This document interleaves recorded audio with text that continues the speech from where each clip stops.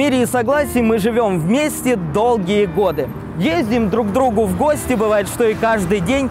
Всего каких-то несколько сотен метров и оказываешься в другом регионе страны. А отделяет это относительно небольшое расстояние от Краснодара только река Кубань. Так вот, я спешу в республику Адыгея.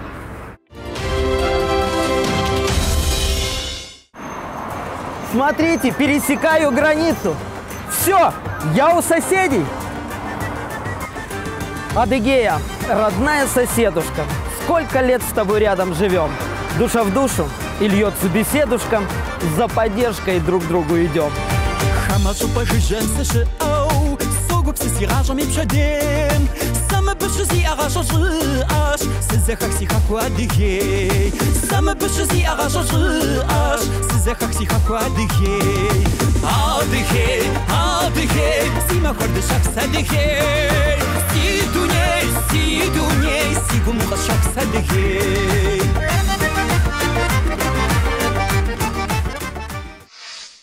Сегодня у меня насыщенная программа. Конечно же, не обойдется без национального колорита, да и просто встречи с людьми, живущими в этом краю. Кстати, здравствуйте! Вы смотрите «Экскурсионный Краснодар». С вами Михаил Молчанов. Столица – город Майкоп. Вообще же Адыгея по сравнению с другими субъектами России – маленькая республика, в ней нет и полумиллиона жителей. Всего в мире адыгов или черкесов проживает около 3,5 миллионов человек. Больше всего их в Турции, в России 718 тысяч, на Кубани примерно 25 тысяч человек, в самой республике немногим более 100 тысяч. Сегодня я приглашен в НМ. Назвали этот поселок в честь князей Инимуковых. По другой версии, когда-то на старинных картах место возникновения этого населенного пункта обозначали очень просто – НМ. Быстро, НМ. Все, друзья, не задерживаемся. В путь!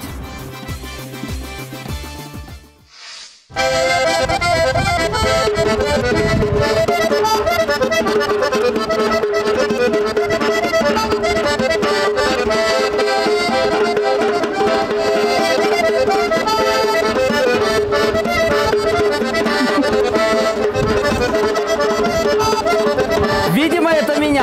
встречают? Да? Здравствуйте! Слушайте, меня по-разному, конечно, встречали, но вот так, чтобы... То Очень приятно. Меня Михаил зовут. Зарема. Здравствуйте, Зарема. Я Это вы сейчас что сделали? Я Поздоровались? поздоровалась с вами на адыгейском языке. А можно еще разок? Юмафашу. Да пускай простит меня адыгский народ. И надеюсь, что к концу программы я все-таки научусь. Очень много шипящих Да, э, да, звуков. научитесь. Как вы можете? О, сра- сразу, ребят, с корабля на бал уже и с едой. Спасибо. Как называется? Кубат. С чем? С сыром. Ну, ну что, пробуем? М.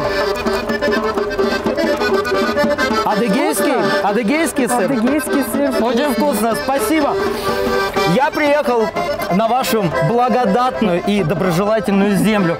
Ну что, чем удивите? Очень хотелось бы побольше узнать о ваших традициях, культуре, быте и, конечно же, кухне.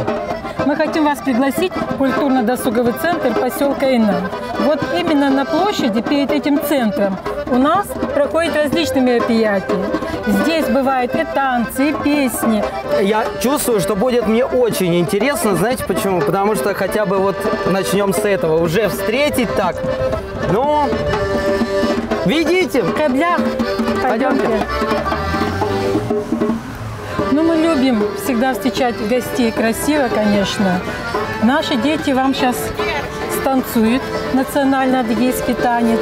Вы увидите, как они могут красиво танцевать. Вот на этом пока остановимся. Может быть, э, вы дадите мне возможность самому тоже поучиться танцам? Конечно, это будет очень интересно.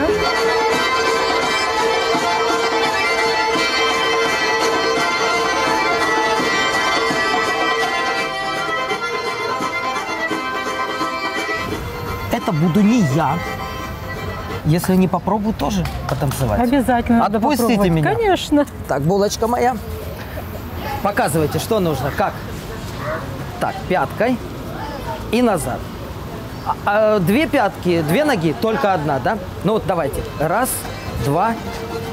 А, то есть раз, два, раз, два. Так, да?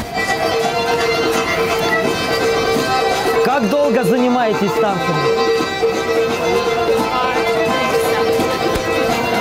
Два-три часа? И уже успели научиться так? Сколько лет? Четыре года. Молодцы, ну, по вам видно. Все, ребятки, огромнейшее вам спасибо. Продолжайте, мы еще понаслаждаемся. Не сложно. Ну а сейчас можно вас пригласить в наш музей? Да не то, что можно, нужно, конечно Ну, же. пойдемте. Пойдемте. Михаил, проходите. Это наш музей. Как у вас здесь колоритно. Кто собирал все эти э, экспонаты, Экспонаты? да? Мы ездили по аулам, друзья помогали, знакомые помогали, собирали. Вот в течение трех месяцев все, что вы видите здесь, мы собрали. Так что, Мы подошли к древности, я так понимаю, да? да, это имитация адыгской комнаты. Мы постарались здесь собрать предметы, которые были необходимы адыгской семье, воспитанию детей, в том, что- чтобы можно было содержать семью. Вот, например, в углу у нас стоит очаг. Внизу была выемка. Эта выемка могла быть круглая, как здесь, а могла быть и квадратная. Очаг мог находиться и в центре комнаты, и в углу где-нибудь. Я заметил люльку с младенцем. Может быть, существуют какие-то обряды ваши национальные? Конечно. Праздник первого шага, Житялауч называется. Есть такой обряд, связанный опять же вот э, с младенцем. У нас вот есть современная люлька, и вот люлька, которому больше 120 лет. Это старинная люлька, колыбель такая, где обычно укладывали э, детей. Дело- Укладывали на... Нет, здесь матрас находился. Ага. Э, Матрас наполнялся вот таким вот содержимым. Видите, Это да? что, Образец. пшена, да, это. или что это? Семена. Семена проса. Вот с помощью, значит, вот такого изделия, это из э, соломы сделано, сплетенное. Конечно же. Вот такая баночка подставлялась вот э, внизу. Ага. Это укладывалось сверху. Вот так вот укладывали. И потом вот такая простынь. Это что, Видите? вместо памперса? Э, Ну, практически получается так. Дело в том, что ребенок оставался в этой покажите. люльке совершенно сухим. Вот. Понимаете? Друзья, смотрите, видите? Да, вот Опа. укладывали вот так вот. Просто у нас нет в музее матраса такого. Ну и ребеночка нету, да, Дело чтобы в том, показать. что вот если ребенка укладывать вот именно на такой, на такой матрас, он не потеет. И, естественно, ребенок там может э, находиться и 3, и 4, и больше количество часов. Он будет спать А. спокойно. Адыги исповедуют исламскую веру. У нас в поселке при въезде строится мечеть, которая будет открываться 30 июня, совсем-совсем вот скоро. Скоро.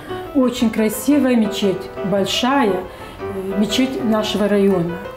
Но еще я хочу сказать, что у нас на территории есть еще и храм. То есть две религии, христианская религия и исламская религия, живут в мире, в дружбе, в согласии. Я хочу сказать вам, что каждый предмет в музее имеет свою историю. И очень интересную. И познавательная такая история. У меня вот, например, вот тут находится фотография женщины Королевой Екатерины Ивановны. И она не случайно здесь, потому что здесь родственники сдали в музей э, предметы ее. Вот прялка. Вот на этой прялке Екатерина Ивановна прила нити. И крючком вязала вот такие прекрасные изделия. Это ее? Да, она обустраивала свой быт. Например, вот это как скатерть, это вот абажур для лампочки был, занавески, вы видите, да? Тут же находятся также ее предметы быта. Вот горшочки здесь, вот тарелка, очень красивая тарелка, которая имеет тоже свою интересную историю. Эта тарелка принадлежала польскому графу, который до революции обитал здесь у нас на территории. И когда во время революции пришлось ему оставить свои земли, Он столовый сервис французский шикарный передал старшему повару. И уже родственники этого повара Подарили? подарили музею. Теперь экскурсию вы продолжите Ага. спортивную на стадионе. И, конечно же, после стадиона вы познакомитесь с нашей национальной кухней. Вам огромнейшее спасибо. Счастливо вам! Желаю, чтобы вы выросли еще как минимум на две большие комнаты. Очень приятно слышать ваши слова. Удачи вам! Действительно было очень интересно. До свидания. Удачи вам! До свидания.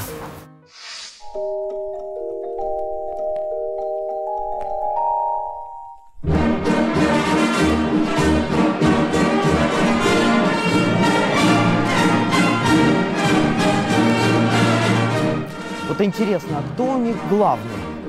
Ну, кричать как-то неудобно. Я сейчас у вратаря спрошу. А может, и не у вратаря? Здрасте. А кто главный из них? 46-й? 46 номер! Можно вас? Ну, давайте знакомиться. Меня. Михаил зовут. Как вас? Очень приятно, Хизир. А вы капитан команды. Капитан, да. А по совместительству чем занимаетесь? А, Предприниматель или... По совместительству глава администрации ЭНЕМа. Я рад быть у вас, э, как говорится, дома, на вашей земле. Ну, вообще любит спорт, кавказцы, да? Особенно, конечно, вольная борьба.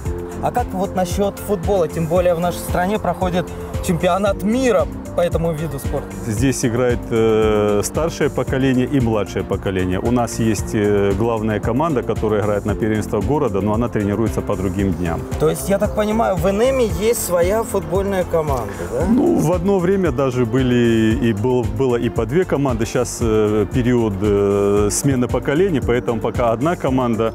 Наша команда является и чемпионами города Краснодара, и зимнего первенства, и летнего первенства, и призерами, и э, республики Адыгея. Поэтому нас с Краснодаром связывают очень такие э, тесные связи футбольные. Я считаю, что Краснодар самый футбольный город нашей страны. Хочу передать огромный привет за все эти годы. Более 20 лет мы играем на первенство города всем нашим друзьям, добрым соперникам, с которыми мы на футбольных полях соперничали. Передаю им огромный привет и поздравляю с началом чемпионата мира. И очень надеюсь, что сборная России сыграет очень достойно, ну и минимум попадет в финал. Глядя, конечно, на вас, вы очень даже подходите э, для спортсменов.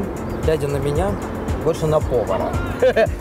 Сыграем в футбол, хотя я не Пожалуйста, умею. пожалуйста, приглашаю. Приглашаю. Я думаю, Не буду. надо, не надо. Приглашаю, пожалуйста, на Научите. поле. Пойдемте. Пойдем.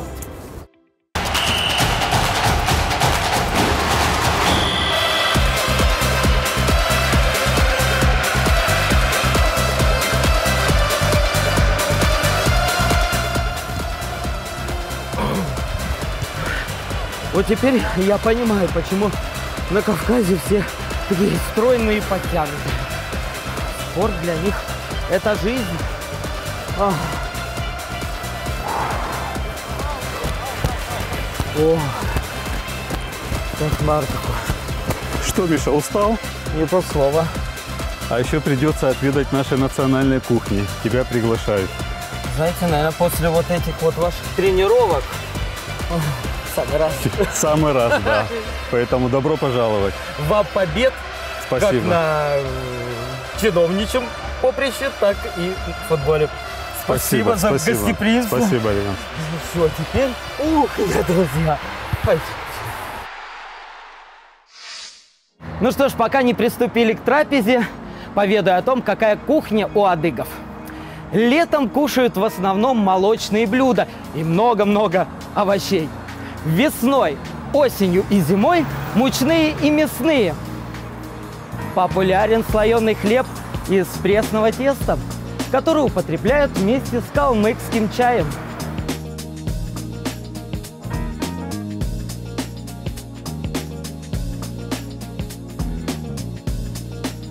А вон какие у них тут. Мафаши, Шокебля Это вы сейчас на французском? на адыгейском. Мы встречаем так наших гостей. И что же вы мне сказали? Добро пожаловать. О, ну, во-первых, здравствуйте. Михаил. Молодец. Очень приятно. Ну что, мне посоветовали к вас. И сказали, что сюда придешь, вам расскажут, покажут. И что самое главное, а, самому дадут научиться готовить национальные адыгские блюда. Это правильно? Правда. Не обманули? Не обманули. Добро пожаловать. Даже покушать дадим, попробовать дадим и покажем. Тогда бегом туда. Пойдемте, Пожалуйста. пойдемте. Добро пожаловать. Щипс с мамалыгой. Вот какие ингредиенты нам понадобятся. Топленое и подсолнечное масло, лук репчатый, говядина, бульон из мяса, сушеный красный перец, пшено, чесночная соль и красный сладкий молотый перец, а также мука и манная крупа. Приступаем к приготовлению щипса.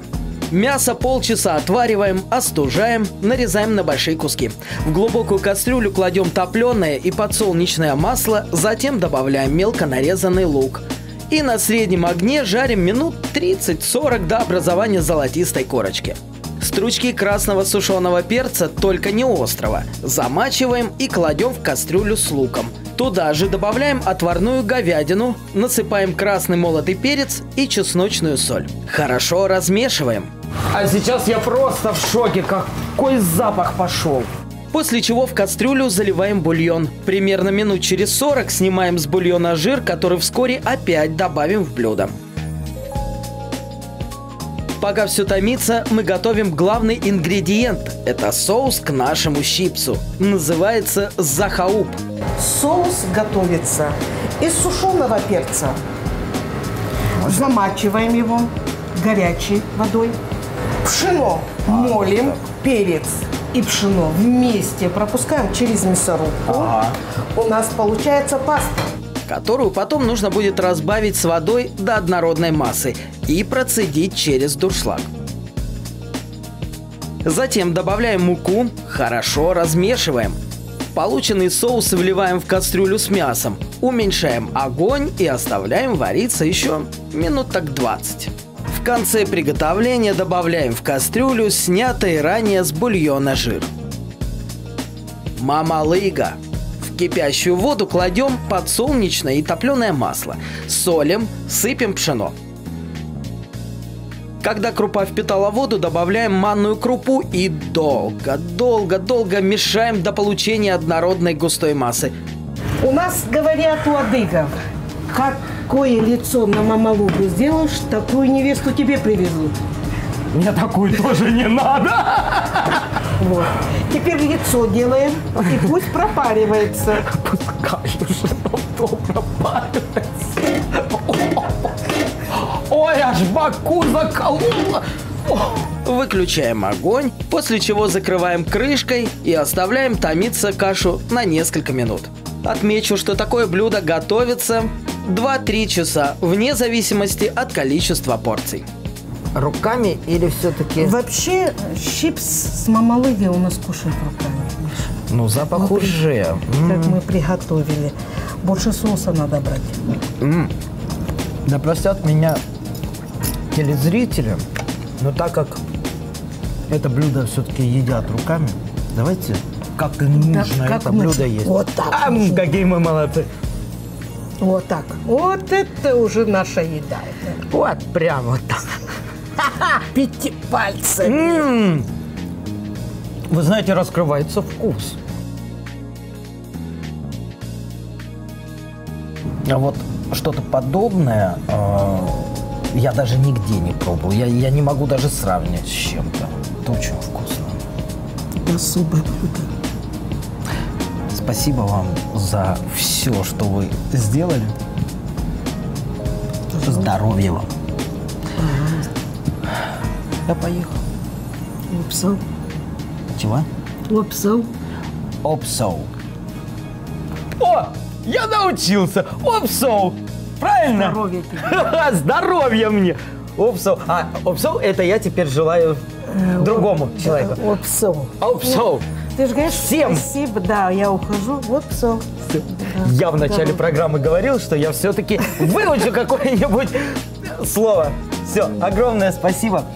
До свидания. До свидания. Очень рада. Взаимно. Почему многие рвутся приехать на юг? А как иначе? Здесь вас всегда встретят как родного, ведь Адыгея и Кубань – две сестры, которые живут вместе многие годы. Пусть так и будет. Друзья, у меня на этом все. Вы смотрели экскурсионный Краснодар. С вами был Михаил Молчанов. Херче! То есть, до свидания!